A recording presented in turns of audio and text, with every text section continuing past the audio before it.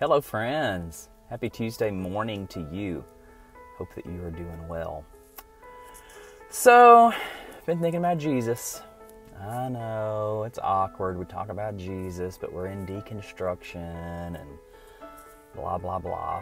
But you know, I'm yeah, I'm right in the middle of deconstruction. I'm reading all sorts of things, but the life and the example of Jesus still call and beckon to me in a way that nothing else can. I can read all the deconstruction books and um, study and meditate and do the research and you know listen to the podcasts and the audiobooks and the lectures and all of that. And at the end of the day, it's still about Jesus for me. So, whatever that means.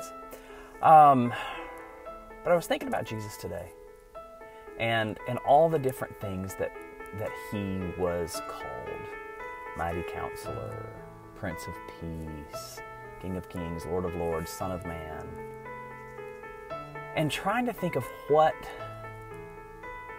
Jesus is to me today. And the best thing I can come up with is that Jesus is the greatest invitation. If Jesus is the Son of God, if Jesus is the greatest human example of God that we have here, if Jesus is God in flesh, he was the greatest example and the greatest invitation. He invited everyone. So I look at my life and all the times that I have pushed the little children away when Jesus was inviting them closer. I look at all the times that I've been the money changer, right? Just trying to add that extra hoop for someone to jump through to get to God. I've been the one gripping the stones of death when Jesus is saying, okay, if you're without sin, go ahead. I've, I've been that. Worn the pious robes. I've had the leprosy of legalism. And all the while, Jesus is inviting everyone, everyone to the table.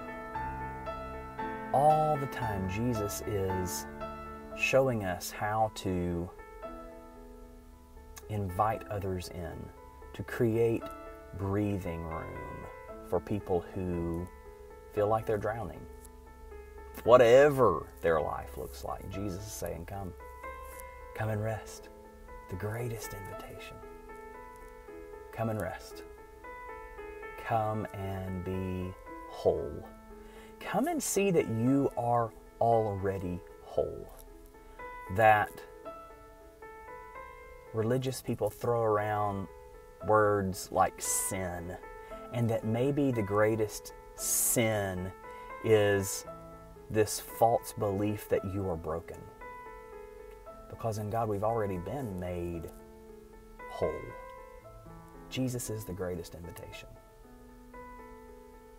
And so, I can't look down my nose at the person who only has pennies to give, right? Or the one who doesn't have all the religious lingo and know how and hasn't been steeped in it like I have since birth. Instead of looking down my nose, Jesus invites me to get low, to get humble, to love everyone, no matter what, even and especially when they are difficult.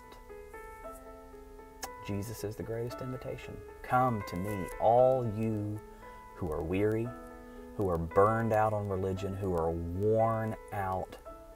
Come to me and rest. Come to me and recover your life. Learn the unforced rhythms of grace.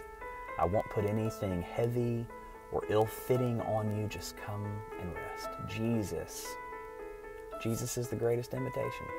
So, that's it. Just know, whoever you are, wherever you've been, whatever you're doing, you are invited to be made whole by unconditional love. Love that has No strings attached. Love that is a gift, not a demand. Love that is a gift, not a requirement. You don't have to pay anything back, it's not a loan. Love is a gift, and grace is really freaking messy. All right. Just needed to tell you that today. Have a fantastic Tuesday. See ya.